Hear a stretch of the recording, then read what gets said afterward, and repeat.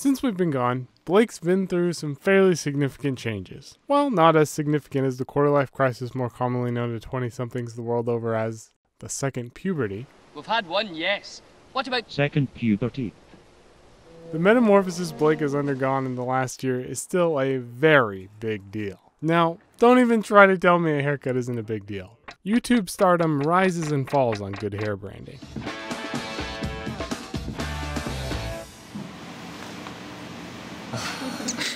Hat Blake is so weird. No, uh, he's cool. no, not. He's cool. No, but- he's been rebranded. Now here comes a brand champion with an online presence. And oh howdy did Blake have an online presence. Follow us everywhere. Just check out the sort of thoughtful and incisive commentary that he received from our fellow wildlife enthusiasts in this thread from a carnivorous plant subreddit. Wow, that girl is super pretty.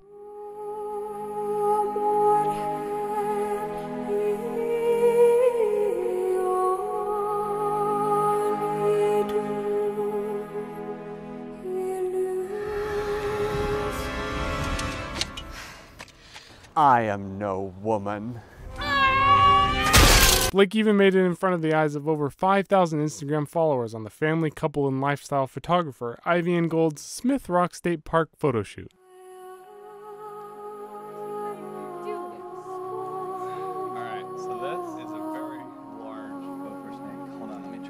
At the Blake Looney Experience, follow for follow. At the time of this writing, the Blake Looney Experience is sitting pretty on a pile of 63 Instagram followers, 36 YouTube subscribers, and a whopping one Twitter fan. It's me. Follow us anywhere. You could say that our first social media blast went off like the opening ceremonies of the Helms Deep Olympics.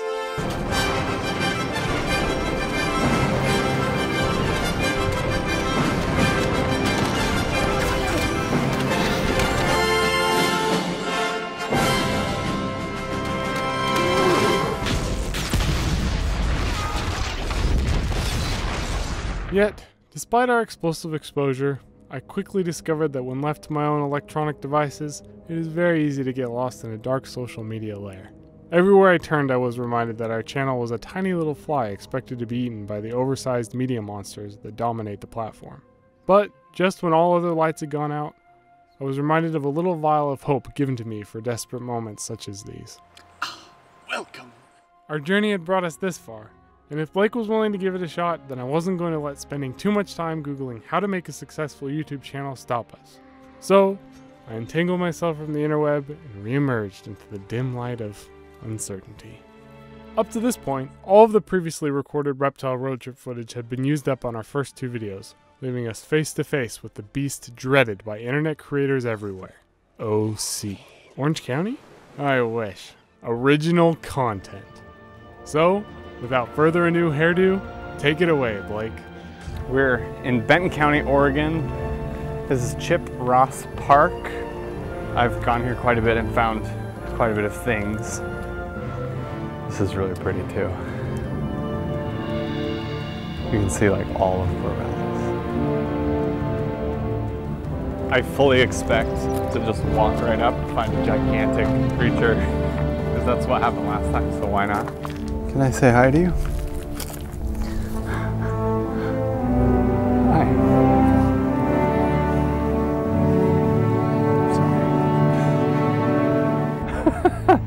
what are what are we looking for? Yeah.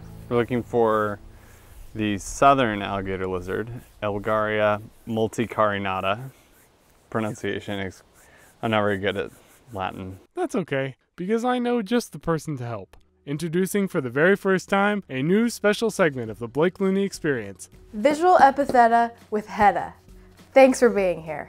Okay, this is how we pronounce and memorize the scientific name, also known as the specific epithet of the southern alligator lizard. Elgaria multicarinata. To begin, we need to break down the Latin into its component parts.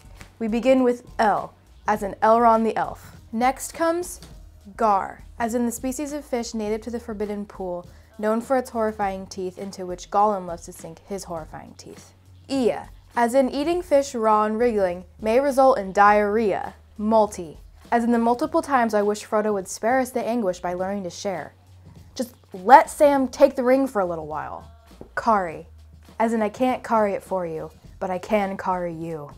Nada, as in the Spanish word for how much of this Lord of the Rings inspired mnemonic device you will actually remember. Nothing! All together now, Elgaria Multicari Nada. Can I get a round of applause for Hedda?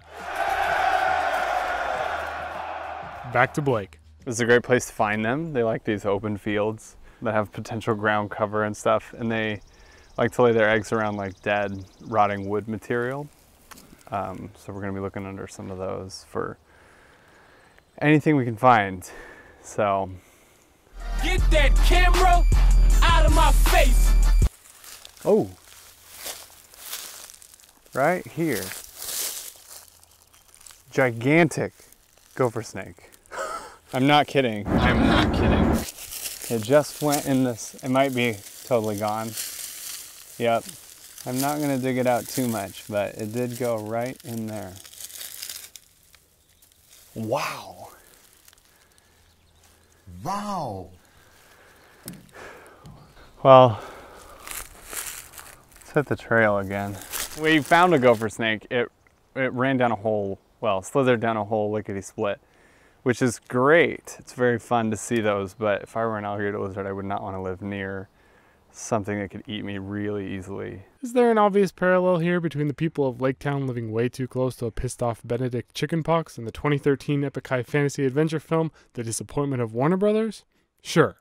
But God knows how much blood has already been spilled on that topic. And honestly, I still get pretty sad thinking about it. So let's just let sleeping dragons lie, shall we? We're gonna go a ways up and look elsewhere and maybe find that gopher snake on the way back down because that'd be cool.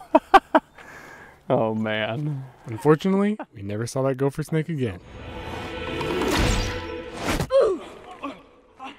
Losing our first sighting down the gopher hole could be disheartening on an empty stomach. So we called it a break and stopped for lunch at Blake's craft brewery of choice. Time to head to the car, grab a bite, and then go to Bald Hill. We're going to our my favorite restaurant to eat, Block 15 for lunch, as a little midday break when the reptiles are not out. And Block 15 has decided to take care of their fly problem by filling it with Sarracenia, which is a carnivorous plant that is really good at eating flies. Not local, it lives more east coast, but it's really cool. And they are in the same family as the the cobra lily. Yeah, link below. I'm gonna get the Southwest salad. Pretty excited about that. A really good salad. Smoked chicken.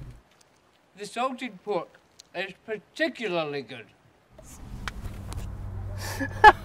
Starting route to Bald Hill. Oh boy, don't you go, sir. Yes. All right, we're ready to continue. Let's get hacking. There's a huge gopher snake shed right there. That would be cool to see. So this is the head. This is one of the eye plates here. There's another one. This is the jawline right there. When they shed, they shed the entire top layer of skin, including the eyes. That's why snakes don't blink.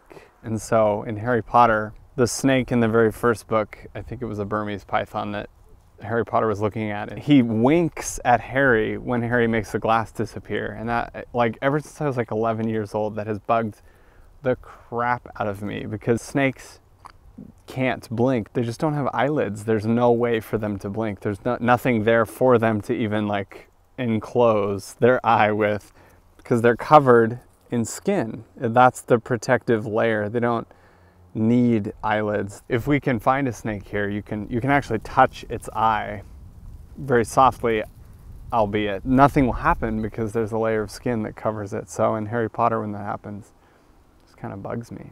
That's that's always gotten me. I've wanted to email her about it. She's a little too popular now. Um, because everyone that I tell makes fun of me and they say, well, it's just magic. And I can write the basilisk off as a legless lizard. But even then, like the python was real. And then she says it blinks. And there's just no way. There was no way. Lizards, right? They they have eyelids, so they blink. Snakes. Oh, that's a wasp nest. It's worth mentioning here that this abrupt panic had been a recurring theme throughout the day. Oh, we, you've got a wasp like right on your, I'm sure he won't sting you. Oh boy. There, sometimes you can get, uh, uncover wa- hornet's nests too. oh man. These kinds of things. Woo! Are great for wasps. Keep running, I just don't want to get stung. I don't like wasps. I'll get bit by whatever. I just don't want to get stung. I don't know what the difference is. We have disturbed a very angry nest of wasps. We've woken the hive. Said, not even a phobia of wasps could quell the excitement of our next discovery. But while we're here, zoom all the way down on that piece of poop right there. I promise you that's lizard poop. Lizards, like many animals, they have careful. Let's, I'm gonna drop this. Let's go. I've been stung way too many times.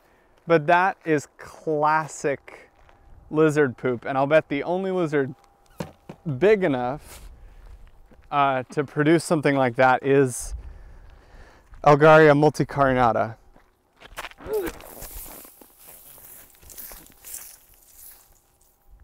Did you see that?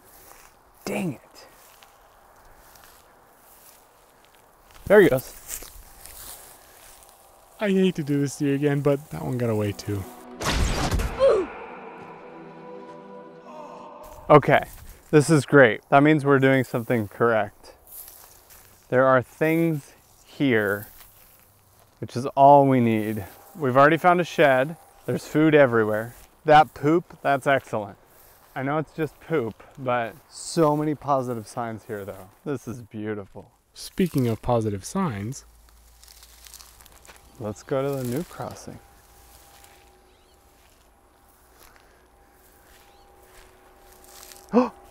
Joel, that, there it is. Elgaria multicarinata. right in front of me. Should I grab it or do you want to film it first? No, no, grab it, grab it. I can't see it from. All right. What we've got here is exactly what we have spent all day trying to find. Essentially, we set out today to look for this as a start to our little channel, right? excuse me, what? Little little kids channel. So that's how it's going to be. Fine.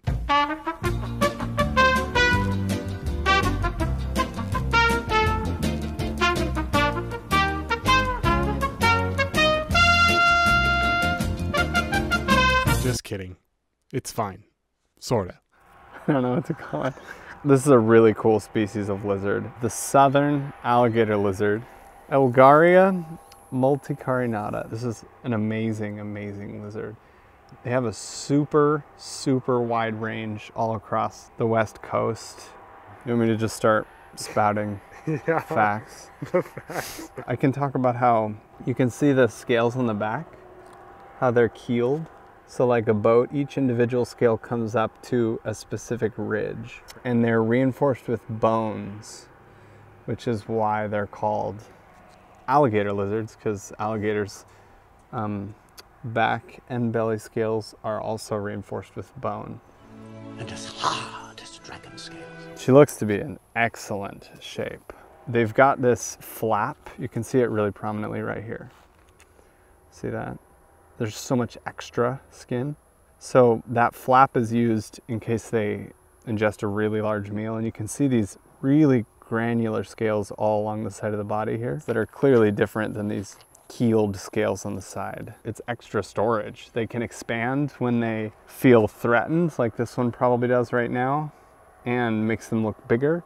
Or if they're full of eggs, they have more space to work with. Or if they eat an exceptionally large meal, they have a semi-prehensile tail. See how it kind of wraps, almost like a snake, see that? A prehensile tail is like, helps with their movement. A lot of lizards don't have that range of mobility with their tails, and these guys do. The monkey lizard obviously does. And this is actually the very first time in my life that I've held one without getting bitten. This is so cool. they've got some some counter shading here.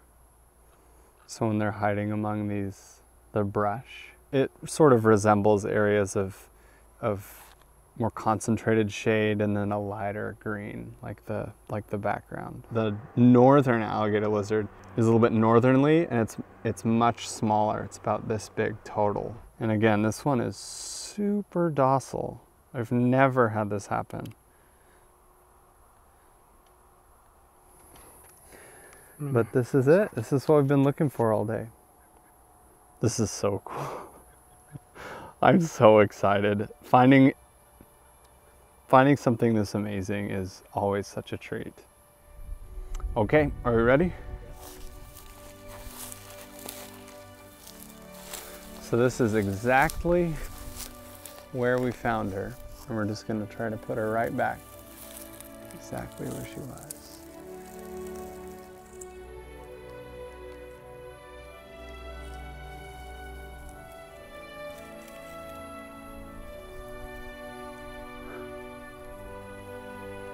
Amazing. And there it goes. oh man. Doesn't it feel so good when you look all day for something and then you find it?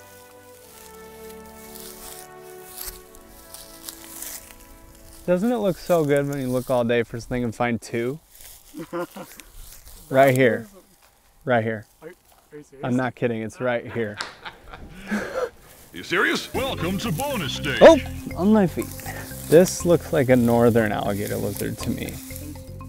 Yeah, this looks brown. When Blake said that the northern alligator lizard was a little bit northerly, he was not kidding. I'm not kidding. The northern alligator lizard was, in fact, exactly three feet north of the southern alligator lizard. I could dig forever and maybe never find it now. I think you can see where this is going. I am so sorry.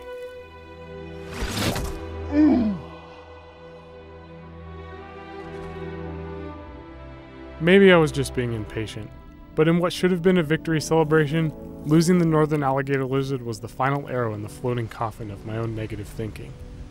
It brought me right back to that dark lair of doubt. Even if I was able to regularly upload videos once a month, it would take us three and a half years to make it through the reptiles of the Northwest, to say nothing of the universally recommended weekly upload. It was overwhelming, and as the strength of my wide eyed optimist faltered, I'll admit to wondering if we really were doomed from the beginning. Let us all been in vain. In the time since our southern alligator adventure, I've certainly taken my turn in sharing Gimli's pessimism. But what I forget is the love of the journey. If I can learn to enjoy the journey wherever it leads, it could never be a waste. What if we hold true to each other? And there it goes. that is so cool. Not if we hold true to the love of the journey, nowhere more evident than in the Blake Looney experience. Travel light. Let's go find more.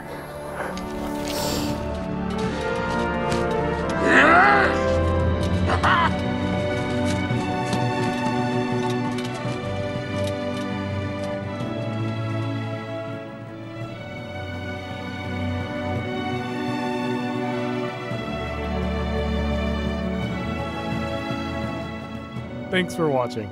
If you're feeling mighty and wish to brave Shelob's social media lair, I would love it if you liked and followed the Blake Looney experience anywhere and everywhere. Most especially, subscribe to us here on YouTube and leave a comment. Any thoughtful and incisive commentary you have to share is warmly welcomed. Most especially, spicy Lord of the Rings memes. Good luck out there, and see you again soon.